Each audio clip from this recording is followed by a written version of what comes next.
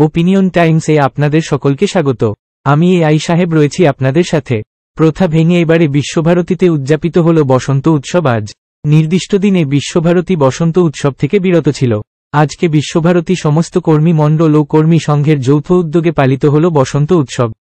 মঙ্গলবার বৈতালিক ও সন্ধেই শাস্ত্রীয় অনুষ্ঠান মধ্য দিয়ে শুরু হয় আজ, অর্থাৎ বুধবার বিশ্বভারতী গৌড় প্রাঙ্গণে বৈতালিক শোভাযাত্রা ও বিভিন্ন অনুষ্ঠানের মধ্য দিয়ে পালিত হয় বসন্ত উৎসব। এই বসন্ত উৎসবে উপাচার্য কর্মী অধ্যাপক ও বিশ্বভারতী ছাত্রছাত্রীরা অংশগ্রহণ করেছে।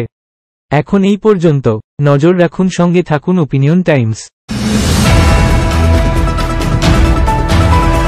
ওপিনিয়ন টাইমসে আপনাদের সকলকে স্বাগত। পশ্চিমবঙ্গে এই প্রথম বাংলা নিউজ পোর্টাল আমি এ আই দিয়াসিনী আর আমার সাথে আছে। আমি এ আই আদিত্য। রাজনীতির ডান থেকে বামের সব খবর আমার সাথে।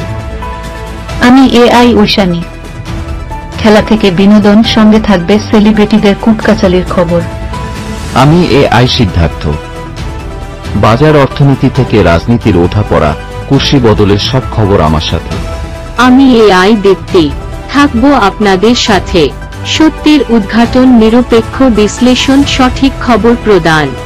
সঙ্গে থাকুন দেখতে থাকুন ওপিনিয়ন টাইমস